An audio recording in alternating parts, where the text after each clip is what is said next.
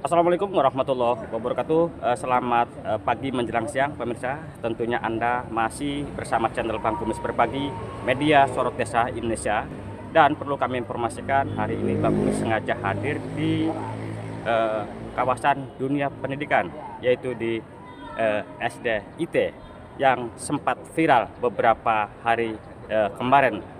Berita terkait pemulangan tiga siswa yang konon tidak bisa atau tidak bisa melunasi eh, biaya administrasi SPP dan eh, administrasi lainnya terpaksa ketiga siswa akhirnya dikeluarkan dari sekolah ini. Dan hari ini eh, Bang Mis akan eh, mengikuti acara konferensi pers hak jawab atas pemulangan secara paksa tidak tiga siswa karena tunggakan SPP. dari Kabupaten Pandeglang, Provinsi Banten, channel Bang Kumis Berbagi bersama media Sorot Desa Indonesia mengabarkan.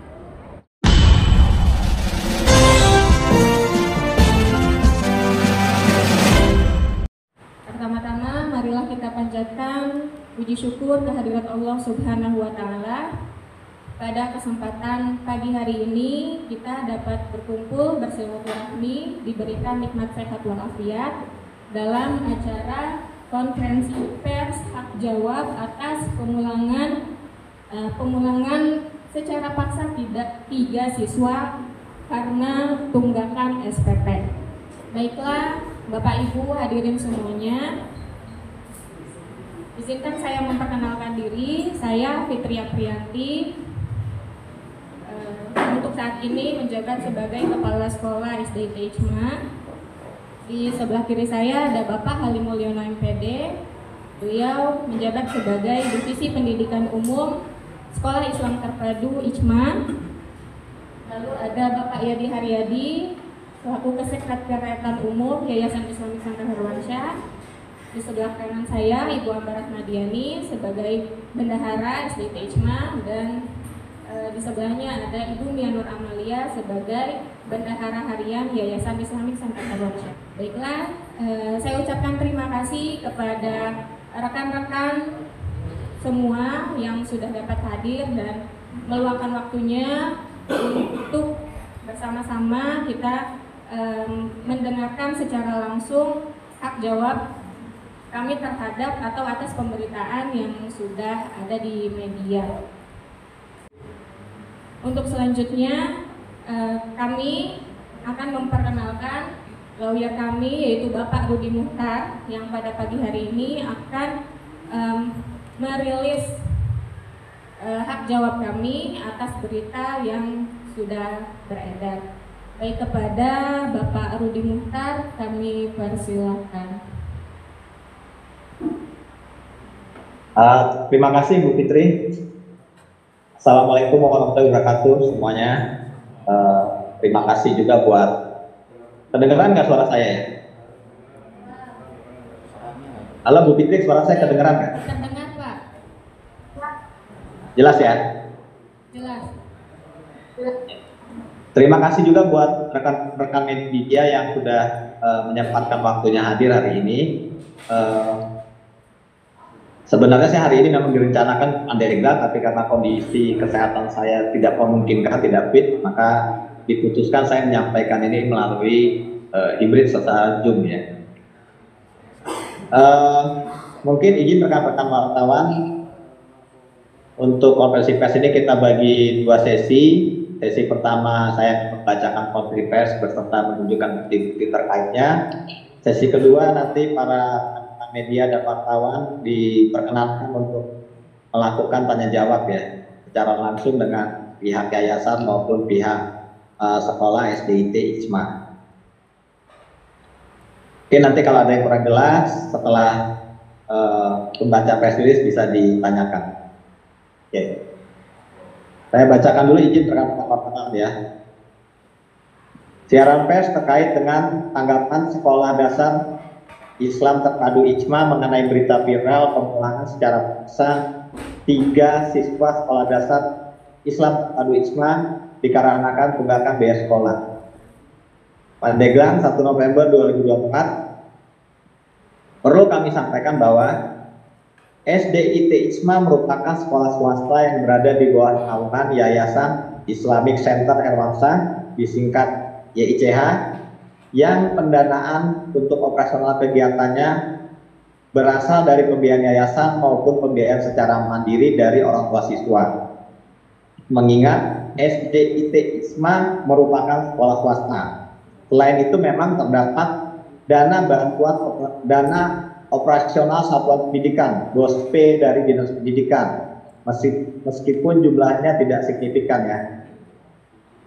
Sebagai sekolah swasta yang hampir seluruhnya dibiayai secara mandiri, tentunya SDIT ISMA memiliki aturan sekolah terkait pembiayaan maupun pembayaran biaya pendidikan yang wajib ditaati oleh semua pihak, termasuk oleh orang tua siswa. Mengenai kewajiban pembayaran uang sekolah ini juga telah diinfokan pada orang tua siswa pada saat penerimaan siswa didik baru. Selain itu, pihak yayasan memberikan keringanan keringanan biaya pendidikan berupa potongan terhadap anak pegawai YCH yang disekolahkan di SDIT ITMA. Kami tampilkan bukti satu tentang kebijaksanaan uh, pemotongan biaya sekolah. Nah, kebijaksanaan ini juga berlaku bagi tiga siswa yang telah dipulangkan ya. Oke, lanjut. Perlu diketahui bahwa ayah tiga mantan siswa yang bernama M Faiza Atala, M. Faras Atila Azza, dan Fatan Atafagadi. Orang tuanya bernama Saudara Muhammad Farhad yang merupakan Kepala Divisi Umum YICH pada periode 25 Agustus 2019 sampai dengan 12 Januari 2024. Dan ibunya yaitu saudara saudari Devi Fitriani merupakan bendahara umum YCH periode 20 Juli 2018 sampai dengan 23 Januari 2024. Pada bulan Maret 2024, ketika yayasan melakukan audit keuangan, diketahui bahwa ketiga anak dimaksud saudara Muhammad ketiga anak dari saudara Muhammad Fahad dan saudari Fitriani yang berstatus sebagai siswa di sekolah milik YCH masih terdapat tunggakan pembayaran biaya pendidikan termasuk SPP, biaya pendaftaran ulang dan lainnya. Total tunggakan yang belum dibayarkan oleh saudara Muhammad Mahat dan saudari Devi Fitriani untuk ketiga anak tersebut adalah sebesar 42 juta 900 ribu 73 ribu 385 kami tampilkan buktinya. Coba. Jadi dari ketiga anak itu, yang pertama adalah M. Faiza Atalah Febian ada tunggakan sebesar 13 juta 532.845 rupiah. Untuk anak M. Faras Atila ada berapa tunggakan sebesar 16 juta 984.290 rupiah. Untuk M Patang Aktafa Gadi dapat tunggakan sebesar 12 juta 456.250 rupiah. Sehubungan dengan adanya tunggakan biaya pendidikan tersebut, SDI IKMA telah berupaya untuk mencari jalan keluar menyampaikan uh, jalan keluar untuk penyelesaian masalah ini ya dengan menyampaikan surat pemberitahuan yaitu pada tanggal 18 Maret tanggal 2 mau tampilkan 18 Maret sudah ada pemberitahuan. Kemudian kembali bersurat pada tanggal 21 Maret 2024 guna pembahasan penyelesaian masalah tunggakan mau ditampilkan Namun surat dimaksud tidak pernah mendapat anggapan dari orang, orang tua siswa dalam hal ini saudara Muhammad Ahad dan saudari Devi Fitriani. Ya, oleh karena hal tersebut, ya kami dari pihak sekolah ya telah melakukan pemberitahuan penonaktifkan sekolah pada tiga siswa tersebut melalui orang tuanya pada tanggal 25 Maret 2024 Jadi saudara-saudara wartawan ini tunggakannya ini kalau kita lihat mau ditampilkan itu dari tahun 2019 ya. Dan ini sudah berproses, jadi nggak ujuk-ujuk ada tunggakan dalam uh, saat yang dekat ya, tapi ini dari 2019. Nah, setelah adanya pemberitahuan penonaktifan tersebut, Saudara Muhammad Fahad dan Saudari Devi Fitriani mengajukan pengaduan ya beberapa pengaduan kepada Dinas Pendidikan dan Olahraga Dikora Pandeglang dan klarifikasi ya. Mau ditampilkan buktinya? Jadi sudah ada mediasi dan klarifikasi di di Dikora Pandeglang ya. Juga di KPAI, tapi kebetulan dokumennya kami tidak lengkap, belum terima lengkap dari KPAI ya. Nah, berdasarkan mediasi tersebut, saudara Muhammad Fahad dan saudari Devi Fitriani tetap memiliki kewajiban untuk melunasi biaya pendidikan yang tertunggal. Jadi dari Dipora pun sudah menyatakan ada tagihan yang mesti diselesaikan. Bahwa sampai dengan tanggal 22 April 2024, di mana pada hari tersebut ketiga anak saudara Muhammad Ahad dan saudari Devi Fitriani tetap sekolah untuk mengikuti acara halal bihalal walaupun tidak ada pembayaran atau penyelesaian tunggakan biaya pendidikan dari anak tersebut ya. Dan belum ada kenyataan aktif kembali ketiga siswa tersebut oleh pihak sekolah. Jadi ketika acara halal bihalal dilayani tetap diterima dengan baik ya. Namun untuk eh, menegakkan aturan ya kita mengundang kedua orang tua siswa tersebut untuk menjemput anak-anaknya. Namun mereka tidak bersedia.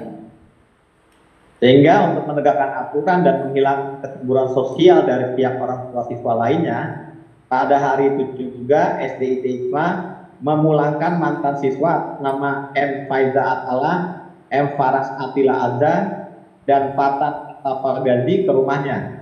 Ya, karena orang tuanya tidak mau menjemput, sudah diinformasikan, maka dipulangkan ketika selesai acara halal bihalal ya. Jadi bukan pada saat dalam kegiatan belajar pengajar seperti berita yang berkembang liar sejauh ini ya. Pemulangannya pun dilakukan dengan cara pasif tanpa ada paksaan sekali sama sekali dan menggunakan mobil yayasan dengan didampingi oleh wakil kepala bidang kesiswaan dan dua orang guru mengantarkan sampai ke rumahnya dan kepada orang tuanya. Pada tanggal 23 Oktober 2024, Dikpora Pandeglang mengirimkan surat kepada pihak sekolah untuk mengeluarkan data pokok pendidikan atau dapodik ketiga siswa tersebut dan kita dari pihak yayasan sudah menanggapinya pada tanggal 25 Oktober 2024 ya bahwa saya tanggapan itu dengan alasan yang jelas. Tolong tampilkan bukti buktinya. Namun proses pemindahan atau pelepasan dapodik ketiga tersebut tetap dilakukan oleh Dikpora. Ya kalau memang di berita itu dilakukan oleh bupati ya. Tapi secara otoritas itu dilakukan oleh Dikpora ya. Tanpa dilakukan validasi maupun verifikasi kepada pihak yayasan maupun pihak sekolah. Sehingga per tanggal 20 Oktober 2024 dapodik ketiga siswa dimaksud telah dilakukan mutasi tanpa ada pelunasan tunggakan biaya pendidikan. Ada hal lain yang perlu kami tegaskan dan sampaikan.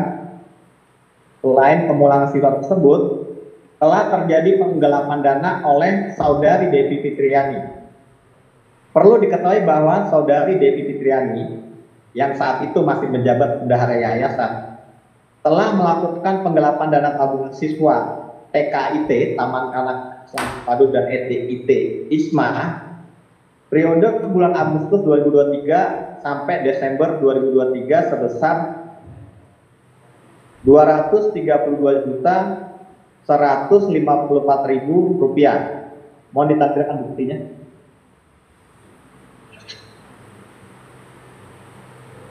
Kami ulangi ya, bahwa saudari Fitriani ketika menjabat bendahara yayasan telah melakukan penggelapan dana tabungan siswa TKIT dan SDIT periode bulan Agustus 2023 sampai dengan Desember 2023 sebesar 232.154.000 rupiah. Ini bukti-buktinya kami tunjukkan di sini.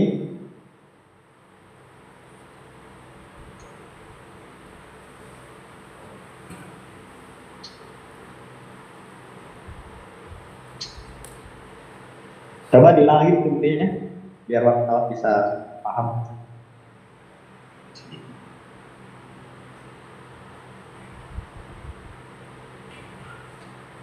Untuk SD, atas temuan tersebut pihak sekolah sebenarnya telah berusaha uh, menghubungi saudari Devi Fitriani untuk bertanggung jawab dan mengembalikan dana tabungan siswa tersebut. Tolong tunjukkan buktinya. Jadi komunikasi sudah dilakukan bukti kepada Devi Fitriani untuk pengembalian. Ya memang sudah dilakukan pengembalian dana sebesar 95 juta. Sehingga sisa dana yang belum dikembalikan sebesar 137 juta 154 ribu rupiah. Karena proses panjang dan komunikasi juga tidak ditanggapi dari pihak yayasan ya maka pada tanggal 26 Februari 2024 yayasan kembali ya uh, mengundang saudari Devi Fitriani untuk membahas pengembalian tabungan siswa. Mau ditampilkan bukti? Jadi sudah diundang ya.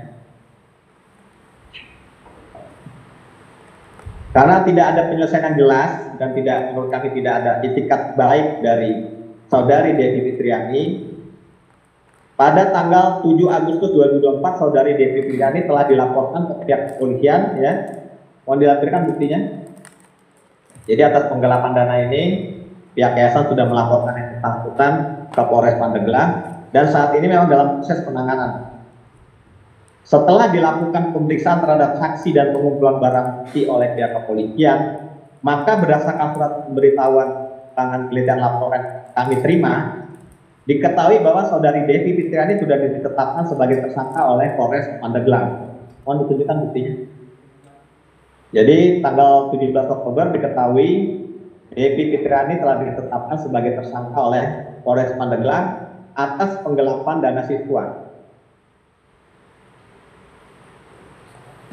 Dengan demikian kami tegaskan bahwa permasalahan antara dinonaktifkan tiga siswa yang belum melunasi pembayaran biaya pendidikan dan penggelapan dana yang dilakukan oleh saudari Devi Fitriani orang tua, orang tua siswa dimaksud merupakan dua hal yang berlainan dan berbeda. Yayasan YICH itu telah melakukan berbagai upaya untuk secara baik dan kekeluargaan ya. Namun saudara Muhammad Ahmad dan saudari Devi Fitriani tidak kooperatif dan tidak beritikat baik untuk menyelesaikan permasalahan yang ada. Jadi kalau berita yang berkembang itu masalah keluarga bukan, ini masalah pidana penggelapan dana siswa oleh saudari Devi Fitriani. Tidak ada permasalahan keluarga di sini, perlu kami tegaskan. Maka saya sampaikan dalam hal terdapat pemberitaan yang tidak benar dan tidak sesuai dengan fakta, YICA akan melakukan segala upaya hukum yang ada ya, termasuk tidak terbatas pada mengajukan tuntutan dan pelaporan pidana. Kami selaku kuasa hukum Yayasan Islamic Center Avanza mengucapkan terima kasih atas uh, perkenannya berlangsungnya conference ini. Demikian Bu Fitri uh, dan rekan-rekan wartawan.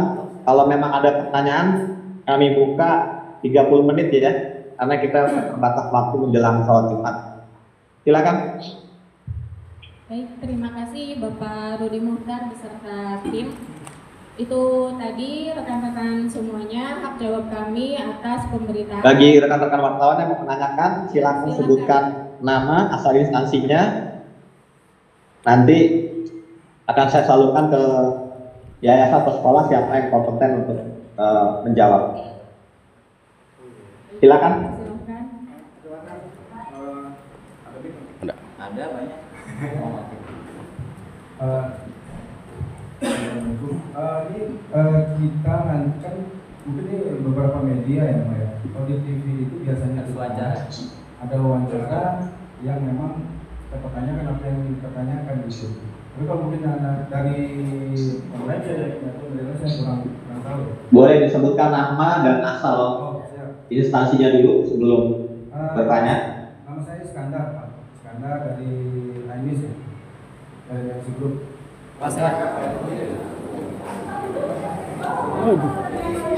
Oh, ya apa? Nggak jadi, Bu. Oh, nggak jadi ya? Nah, eh, pemirsa, nampaknya eh, pihak kepala sekolah sendiri tidak mau diwawancarai. Oh diwawancara, ke bisa. Tapi tadi, Tapi bilangnya beritanya nggak berimbang gitu. tapi pas eh, sejumlah media ini nggak mau wawancara, Nggak mau wawancara. Gimana? Nah, terus bagaimana cara mengimbangi beritanya nih? Ya mereka pengennya berimbang. Berita kemarin-kemarin bilang nggak nggak berimbang. Tapi pas kita ke sini jauh-jauh dari Panengan ke Menes nggak mau diwawancara. Oke.